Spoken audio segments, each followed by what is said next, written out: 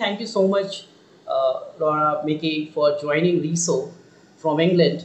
And it is again a wonderful possibility for us to have you, your expertise, your dexterity, and your professional skills you are willing to share with us. It's such a possibility for us.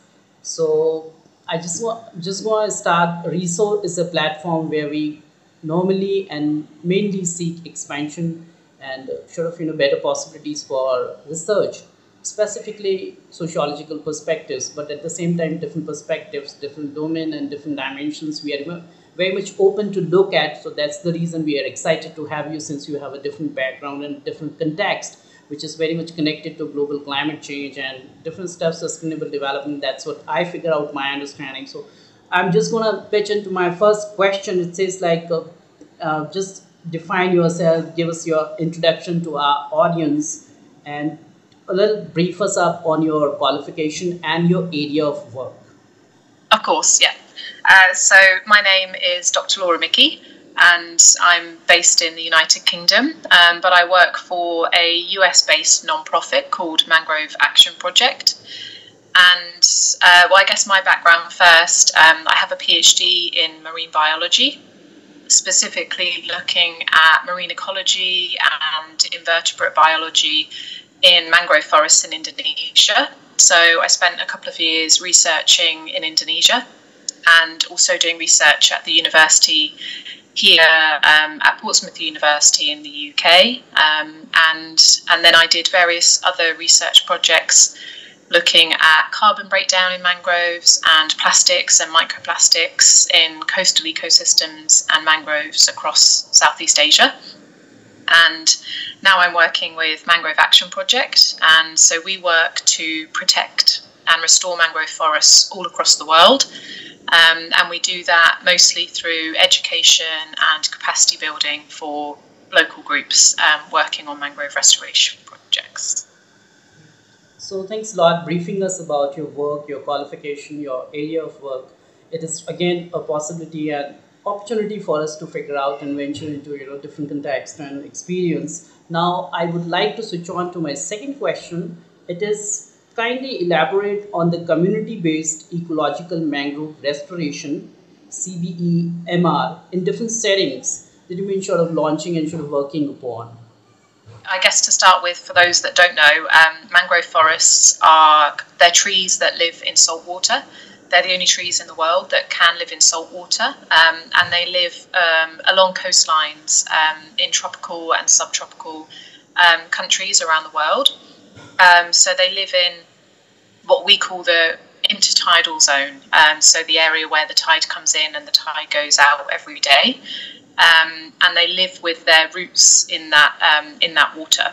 And so it's quite a challenging environment, um, which means it can also be quite challenging to restore mangrove forests. And so we've seen many failures across the world in restoration projects, and usually that's because groups are planting the wrong species in the wrong place, um, or planting mangroves where they shouldn't be, or planting them in areas that are you know the issues or the challenges that caused the mangrove loss haven't been overcome and so what we do um, at mangrove action project we don't actually run restoration projects ourselves because we believe they should be run by the local groups by the local communities and so we offer technical advice and we do trainings and workshops on best practices in mangrove restoration so we have our methodology, which is called Community Based Ecological Mangrove Restoration, CBEMR.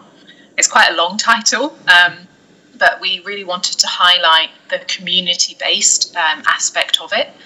Not just communities, but all local groups, all local stakeholders that have, you know, an invested interest in the mangrove forests, but particularly the communities because a lot of communities rely on the mangrove forests for their local livelihoods or for construction and building materials. And so we really wanted to highlight the, you know, the point of involving local communities.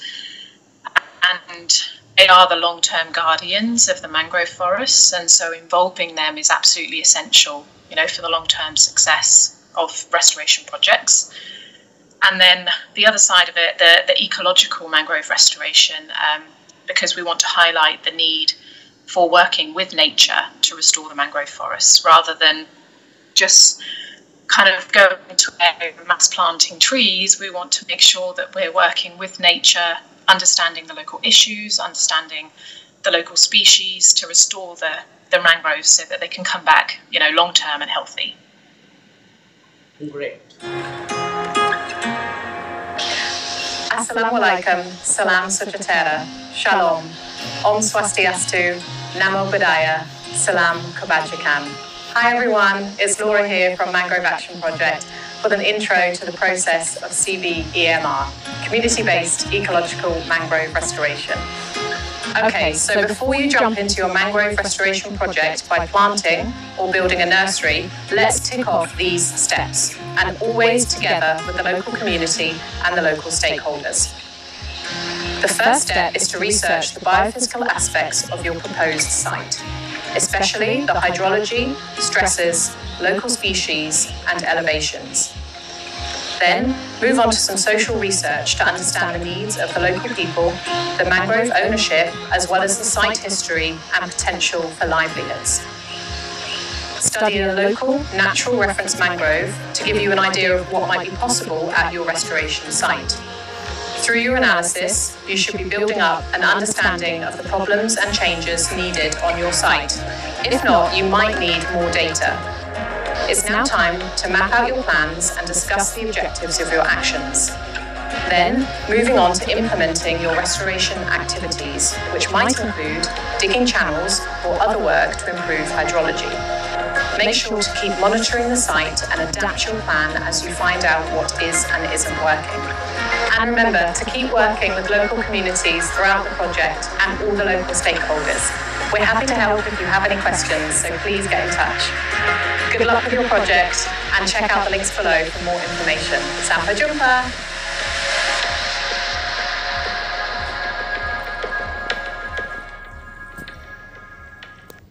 Learning that uh, your project focuses community-based intervention. That's what I figure out.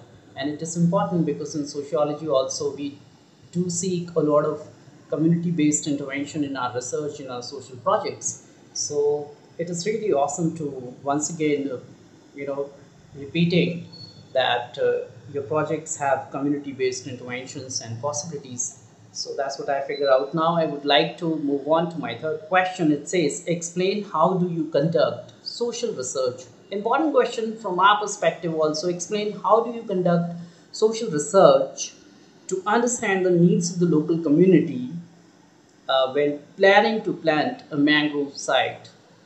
Really good question. Um, so, when, when it comes to a restoration project, we often conduct two types of research. Um, so, the first type is the environmental, or what we might call biophysical research, and that's really looking at understanding the forest itself or the degraded area where the trees have been lost and looking at the soil type, the salinity, you know, the tides and things like that.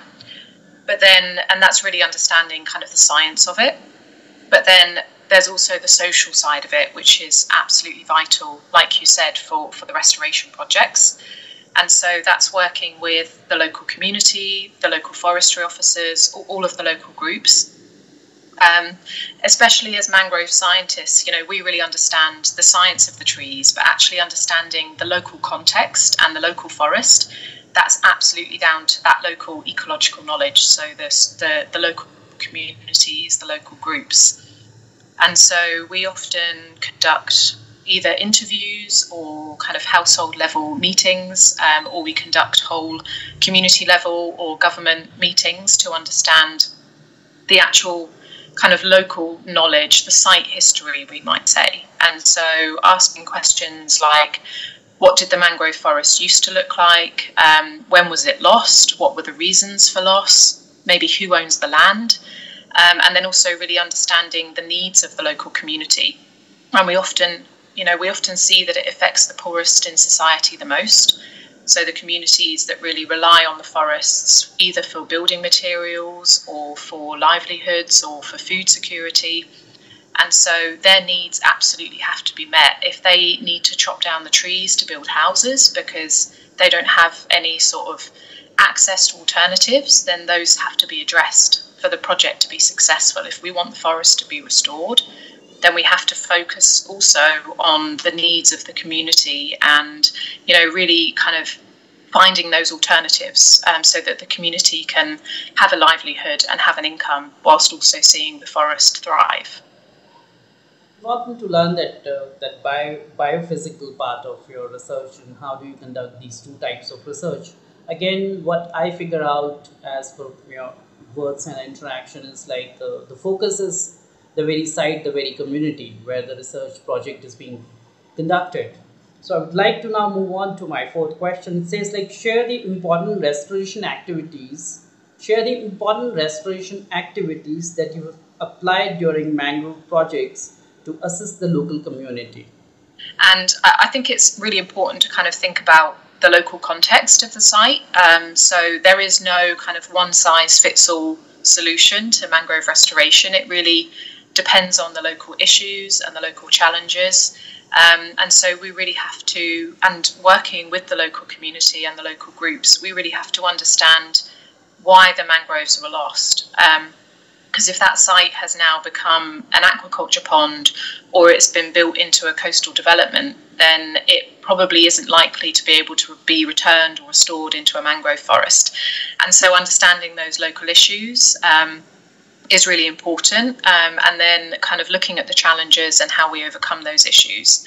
But I would say um, a few of the, the kind of activities that we usually do um, is working with the local groups to understand which tree species used to be there and trying to restore as many of those species as possible rather than just mass planting one single species, um, because then when it comes to resilience to climate change or pests or diseases, you know, if there's an outbreak of a pest or disease, that whole forest is likely to be lost. Whereas if we try to restore as many of the local species as possible, um, then it has a lot more resist- resilience, um, and then also there's the habitat available for lots of different terrestrial and marine animal species as well which is what a lot of the local groups rely on, you know, for their food sources. And so, and also a challenge that we often come across with mangrove forests is um, because they really rely on the tide coming in and going out every single day, they really need that water to drain from the soil so that the oxygen can get down into the roots. And so we've seen a lot of areas where the soil um, or the water gets trapped in an area because rivers have been blocked by, um, you know, if there's flooding and debris comes down a river or soil gets washed down the river and then it can get trapped in the river or trapped in some channels. And then if that water gets trapped in the mangroves, um, then it's going to suffocate the trees and they're not going to be able to survive. And so one of the issues we often have to overcome is removing debris or you know redigging channels so that the tidal flow can be restored. Um, you know, so we call that like hydrology, so water flow. Um, so that they're kind of the main two issues that we often work with communities to do is to restore the water flow to an area um, and also making sure that um, as many of the, the local tree species are being restored as possible.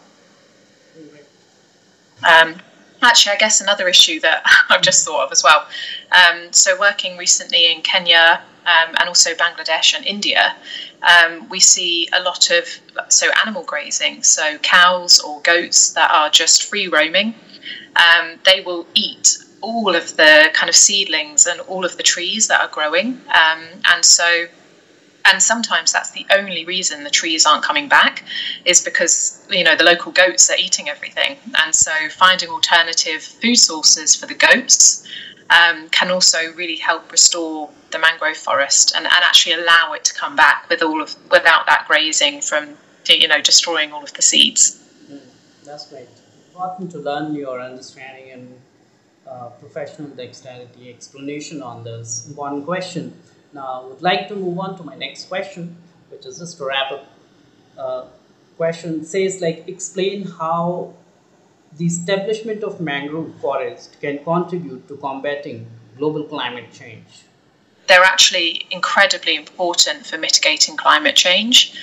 Um, and so, because a, a, lot of the root system of the mangrove trees is actually above ground, and so there's a lot of quite, you know, dense overlapping roots above the ground, and so those roots really help to anchor the soil, anchor the sand and the coastline in place, and stop erosion from happening, which is obviously incredibly important for lots of um, you know coastal communities and cities.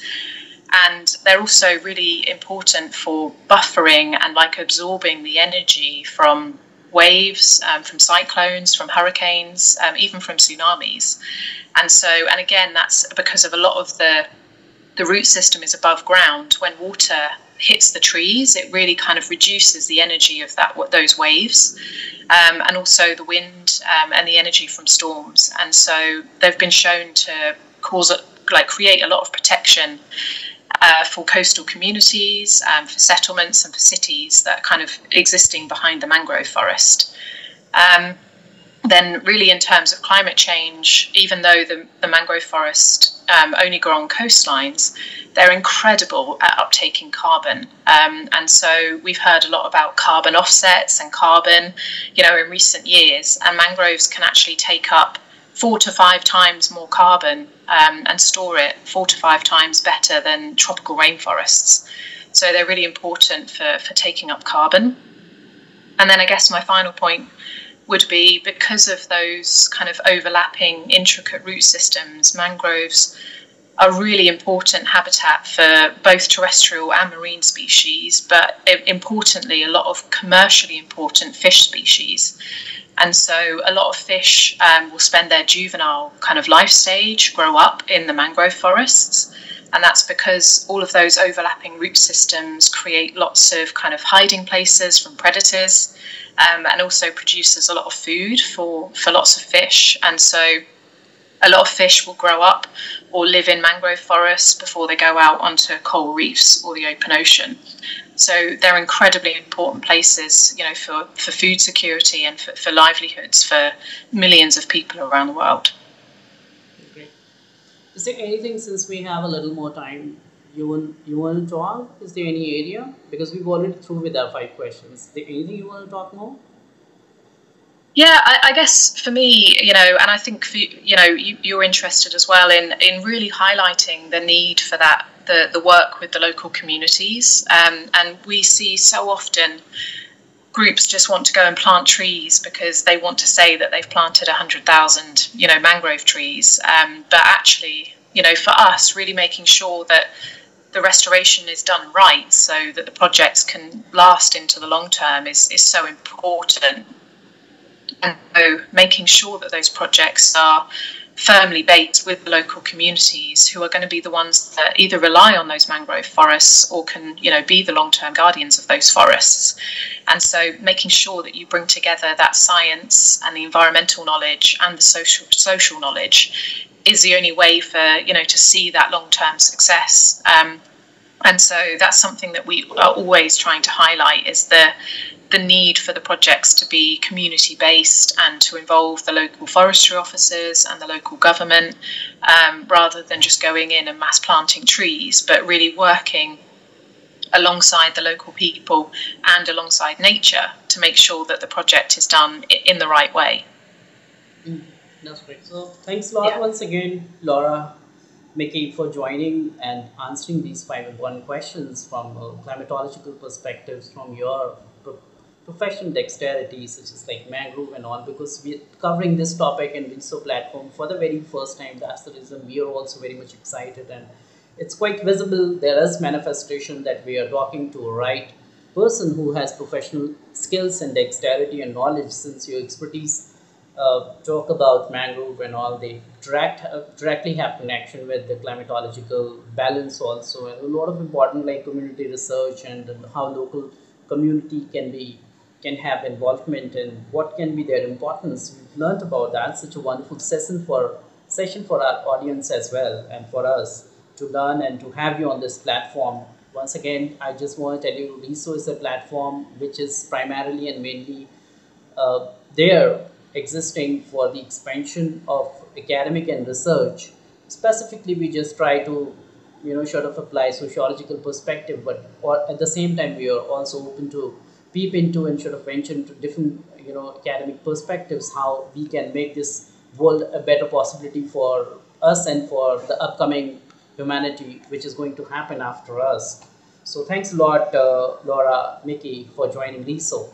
So much for having me. Um, it's been great to be on here and to kind of share share my thoughts. Um, and thank you for putting together such a great platform.